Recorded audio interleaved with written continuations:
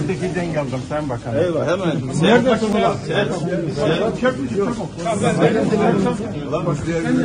Sen bakalım Allah razı olsun. 10 numaralı olsun kalın.